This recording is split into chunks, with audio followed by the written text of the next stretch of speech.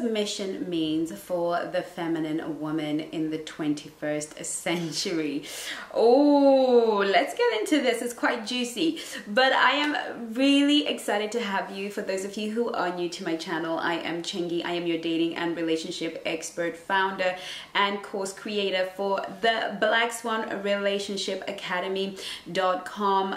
I am here to teach you ladies how to present as a high value, high status, high worth woman that high value masculine men completely adore. And if you are into that masculine guy, then you are on the right channel. And if you want to emerge as the black swan that you are and be the most rare creature on the earth, then you are at the right channel. And so today we're going to be talking about some issues that are a little bit sticky okay a little bit sticky stuff that we don't want to discuss but needs the conversation of course needs to be had now listen to me ladies we're gonna have nice girl rehab coming up very very soon. The link is in the in the description link below. Do go to the description and get yourself registered for this masterclass. It is absolutely free. Along the way you will be offered vip and other versions of attending but you will ultimately be able to book your seat for free now I'm really excited because this is a gift that I wanted to give back for all of your support as we changed over from Chengi's World to Black Swan Relationship Academy. I wanted to be able to do something that was valuable, that would that would say thank you, and to really be able to do this great work that God has given me to do so that we can transform lives, love lives across the world, and I can reach 1 billion women, a billion women that I cannot reach without your support, without you watching, liking, and commenting. So I'm hoping that this video is going to inspire you to hit that like button because I'd really appreciate it. And perhaps you might even hit that share button and make sure that all of your friends and family and your social media get to be part of this transformational Black Swan journey that you are on. Okie dokie, let's talk about submission. Submission is a dirty word for the modern woman. I have to admit to you, ladies, um, submission was a dirty word for me for many, many, many years. I didn't want to hear about it. I didn't care to hear about it. I didn't really care to hear about it or know about it. Uh, my feeling whenever I heard the word submission was subservient is what I heard. What I heard was you are trash. Uh, and what and it would often come from usually well-meaning pastors who had a miserable looking wife sitting in the front row. Uh, it always came from people that I did not really respect or have much respect for. All I would see is this poor woman sitting there looking like shoot me and this man with the Bible preaching submission and or you know men that I would perceive as somewhat arrogant and often submission and the word submission within the church has always been used a little bit for abusive purposes. And of course I grew up with a real disdain for the word submission and it has taken me a very long time to to disembark and realize that we are not being required to submit to every man. Uh, we are required to respect everyone.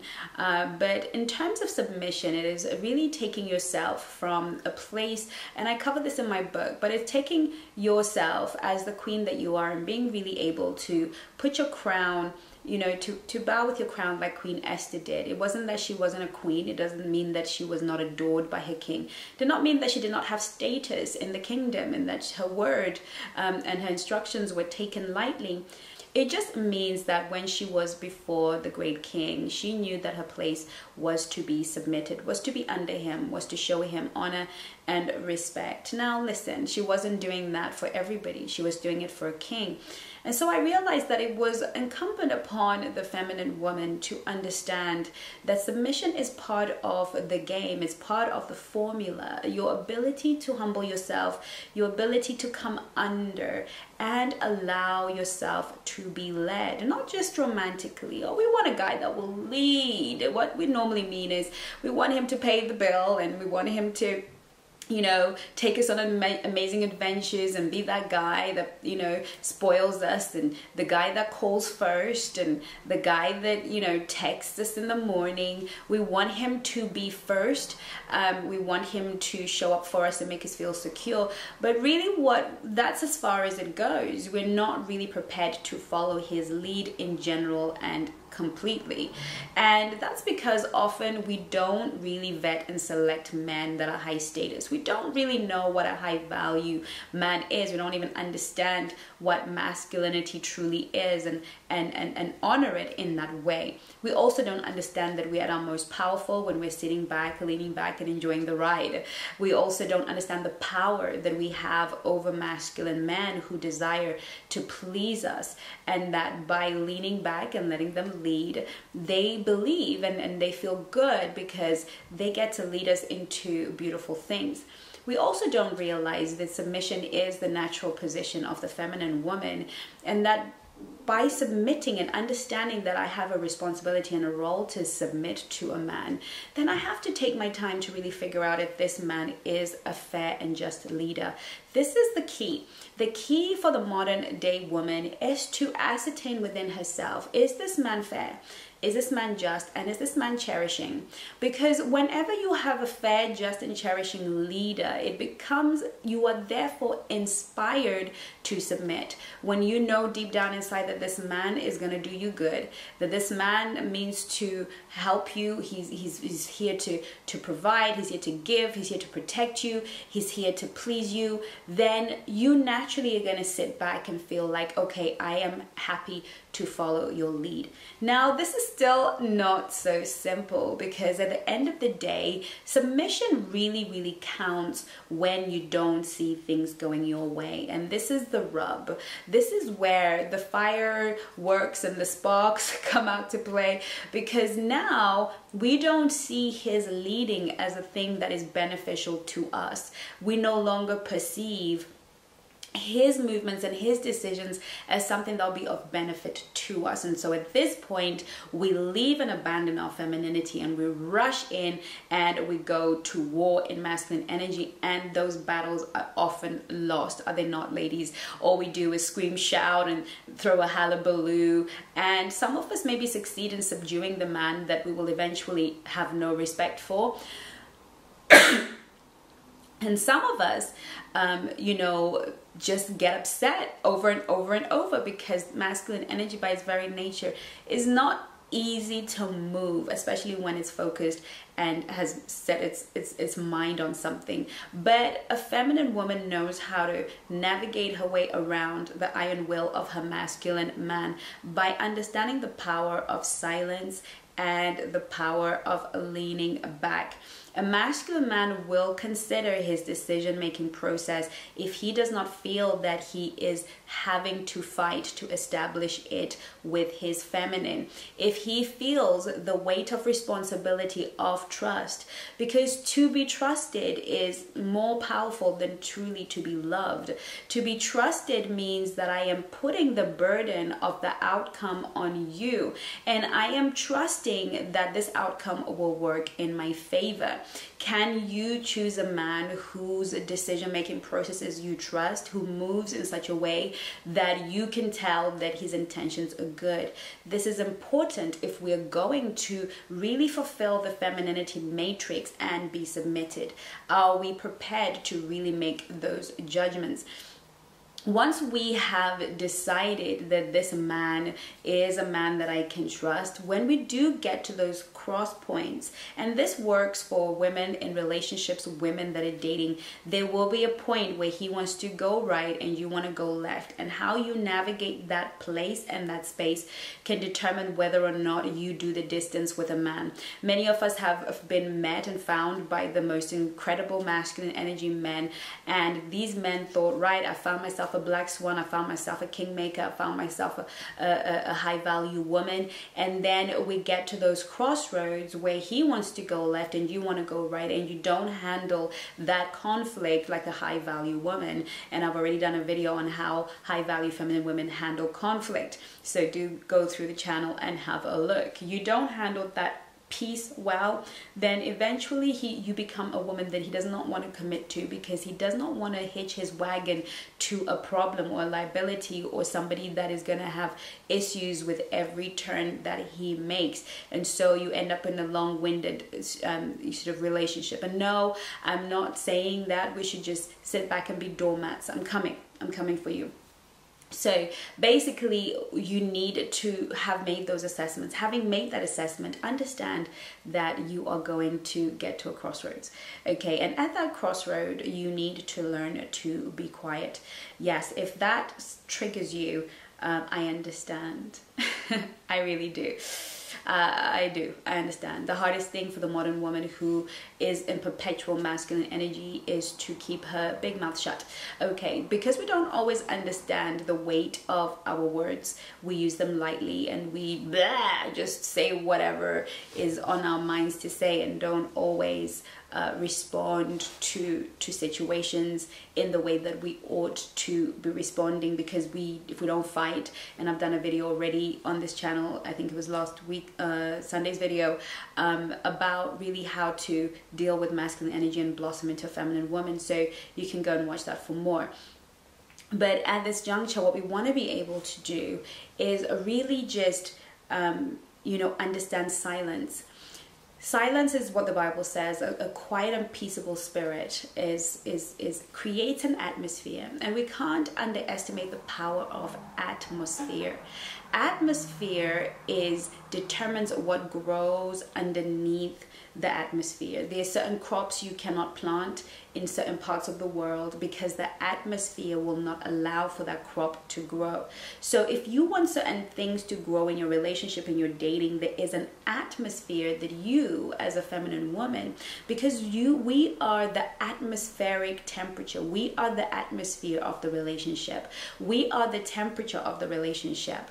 The man is the one that holds space and structure within the context of the relationship, but you and I as feminine women are the ones that bring about the atmosphere, the tempo, the temperature of the relationship. The tempo is, is, is what the masculine man brings, but we bring the, the enjoyment, the fun, the flirtation, the playfulness, and the, the essence of the relationship. If it's going to be peaceful or if there's going to be war, it is often brought about by the woman. And so understanding that silence may be the absence of words coming out of your mouth, but it is definitely not a quiet energy. Silence is very noisy in terms of energetic um, mastery. So, those of you who have not done the energy mastery class, you might find this intriguing. But those of you who've done the energy mastery class at blackswanrelationshipacademy.com um, will understand what I'm trying to say here.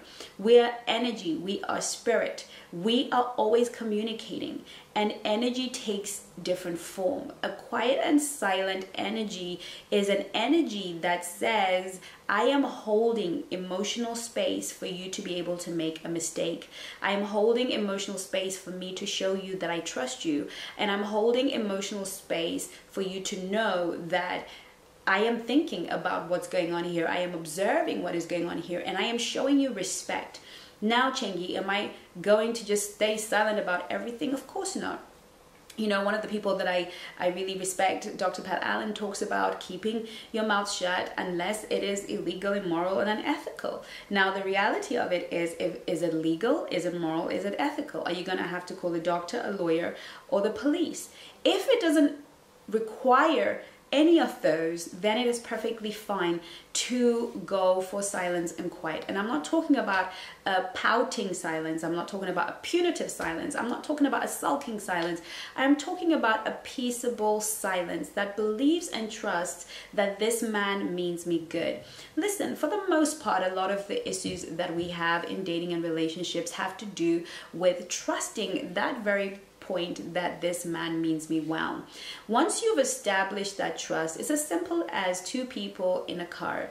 Let's say, for instance, you and your partner, the man you're dating, or your husband, uh, decided that you're going to go to a certain part of town. We're going to get to part C of a certain part of town and uh, when we get there we're going to do a b c d e f g. And but here's the thing you go through part c every day on your way to work.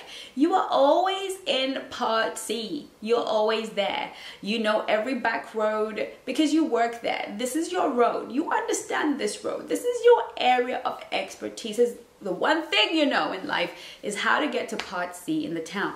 So your your boo, your bay, your new interest comes on board and he's like, right, we're going to part C and I'm driving. And you're like, okay, you, you go go, you you drive, baby. And he gets into the driver's seat and he puts in the sat nav, and the sat nav is taking him around the houses. Now, at this point, what are we going to do? Are we going to are we going to quarrel and say, "Listen, I know the pathway. I know how to get there. I know how to turn left and I know how to turn right. And if you're just taking the third left, this is not going to help the dispute."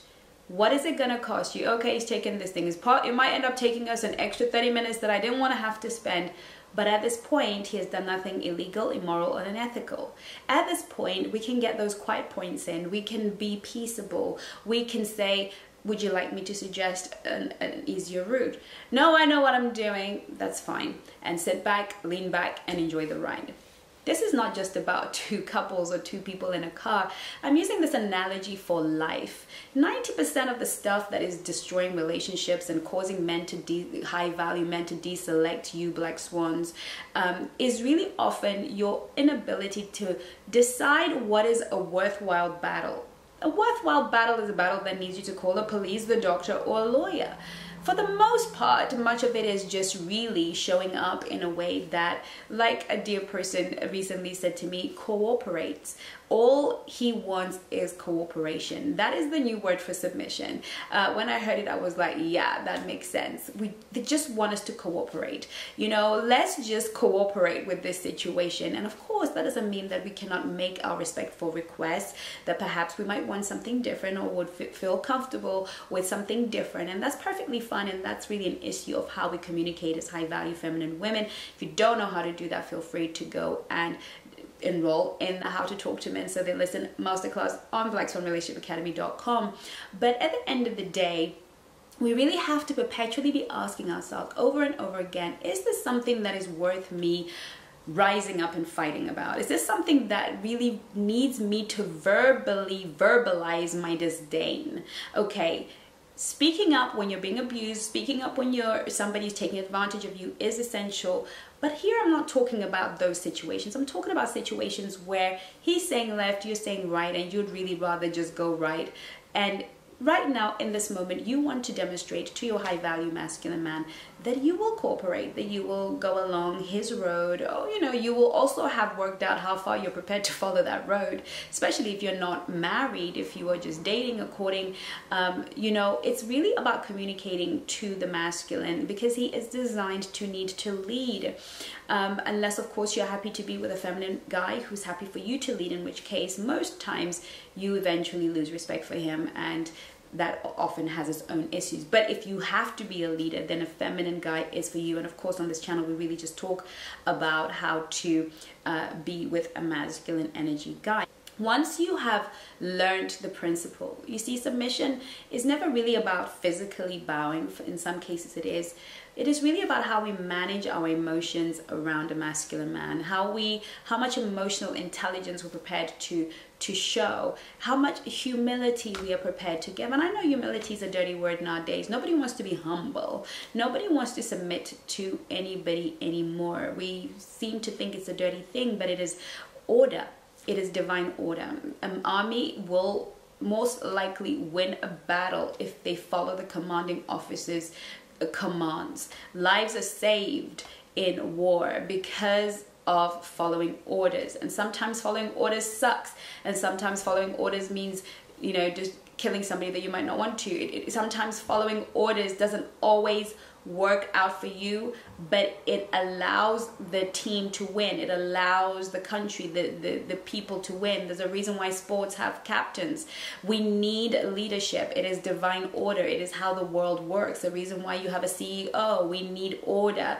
Order is not our enemy, and order only works when we are prepared to submit to somebody else, not because they're smarter, not because they're better, not because they know better, but because we have assessed that pertaining to this area of life, they are in a position to help us to prosper. We don't always like the people that lead us, but at least in romance, we get to choose the person that we are prepared to lead us to victory. Lady, if you really do not believe that the man that you are with can bring you to victory, you do not need to be with him. If you do really do not believe that the man that you are with intuitively and at a very gut level is not after your good. He has no desire to to please you and to take care of you and to cherish you. You shouldn't be with this man. This is not the kind of man you need to be with. But perhaps you have um, got a little bit carried away and, and you there's so much contention in your relationship and I really want you to try silence. I'll tell you a story before I end this video. I had a client who um, called me one day. She had been on my books for a while and you know I've been I was helping her through some marriage uh, situations that she had. She wasn't necessarily married to the fairest of men or uh, the man that would always do right by her, but she, you know, he was a fairly decent provider, protector, and a cherisher, and she did not want to leave that marriage because she was happy with the setup. She just wanted a better relationship. But girlfriend had a mouth on her. Oh my goodness. When she got going, she got going. Eventually, she created a situation where the husband said to her that he no longer wanted to be with her. He sent an email and said, I want a divorce. And at this point, she calls me and she's like, girl, actually her voice, it's more like, Chengi, I need you desperately. This is the email that I have received and um, what am I gonna do? Because I don't, I feel like he means it. He's threatened it before, but this this time is different and I and you know she was like I will pay you anything. I will double your fee. I will quadruple it. I will give you anything to save this situation right now. And you know what I had to say to her? I said to her keep your money girl. Keep your money. I want you to do two things. I want you to keep your money. And the second thing I want you to do is keep your mouth shut. And she was like but how is I was like I want you to be silent. I want you to say nothing to him I do not want you to speak. And I don't want you to be quietly pouting or silently angry or silently this or the other. I just want you to be silent. I want you to be quiet. And I want that whatever happens, if he calls you and wants to discuss it, just say to him, I'm not ready to talk about it right now. I just want you to be quiet. Why did I tell her to be quiet? Because I know that he was anticipating her mouth. He was anticipating that she was gonna go for it, and when he, when she did go for it, if she did go for it and did say what she would normally say in order to be combative, he would then be fueled to follow through. What I read was a man who was frustrated. What I read from his email was a man who had come to the end of his tether, and this was his last ditch attempt to try and bring order into his home. But what she read at this point was he's ready to leave. I knew that she needed to behave in a way that was not typical. She needed to behave in a way that was submissive. She needed right now in this moment to call upon the quiet and silent nature of the feminine in order to restore balance back into her divorce into her marriage so that she would not be divorced. And she sat there and for 3 days she was like I am angry, I'm upset. Why does he want to do this? Of course she went through the emotions, but she listened to what I had to say. On the third date, he drives back home and he's, Why haven't you responded? Why have you stayed silent? And she remained quiet, and eventually he it all got very heated because he was frustrated because he wasn't getting from her what she was used to. And eventually she burst out and said, Fine, you can have the divorce if you want to have the divorce. And yet that was still part of that submissiveness. And well, let's put it this way it was a very sexy evening that they had after this conversation. They, they had a very sexy evening, yes. Um, it was very wonderful. Well, I wasn't there, but I'm told that it was very hot and steamy situation and there has been no talk of divorce I didn't ask her to do anything but remain silent. She sent a message to me and she said, Chengi, I cannot believe what silence was able to do for me right now. I cannot believe how powerful silence is. This is the power of submission. A lot of the battles that we are fighting, a lot of the back and forths that we're having in the power play dynamic of the second phase of relationships is not necessary much of the stuff that you're fighting with with your boyfriend about your husband about or the guy you're dating about can be resolved through silence a respectful silence because eventually there's something about silence that says maybe there's something going on in her and I need to find out. Silence is actually quite scary for men. They're accustomed to us yelling our heads off every two seconds so that we can be heard. But when we are quiet and we're silent, this is very scary. I remember a, a guy friend of mine telling me that his guy friend called him and said, I am afraid of my wife. And he was like, Why are you afraid of your wife? He's like, She will never fight with me. I've been married to her for 20 years and she will not fight with me. She will not raise her voice at me. No, it doesn't matter what I do, she will not fight with me. And so he um, heard his wife one day, came back from work and heard his wife talking to uh, a company. I don't know if it was a phone company or, some other company. And she was going in there. She was like! Right? And he said, I am scared of her because I know what she's capable of doing verbally. I know what she's capable of doing. And her silence makes it very unpredictable for me and I'm scared, right? And I'm not saying that we should make men afraid, but I want us to see that from the perspective of a quiet woman, if a man cannot predict you, if he cannot predict your anger, if he cannot predict your temper, if he cannot predict your words, then you become an atmosphere that conducts his respect, an atmosphere that he has to cherish, an atmosphere that he has to check in with, and an atmosphere that he enjoys coming home to and being a part of.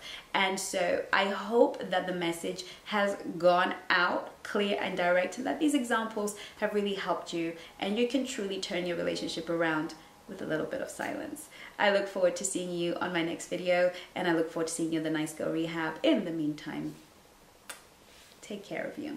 Love you lots. Bye bye now.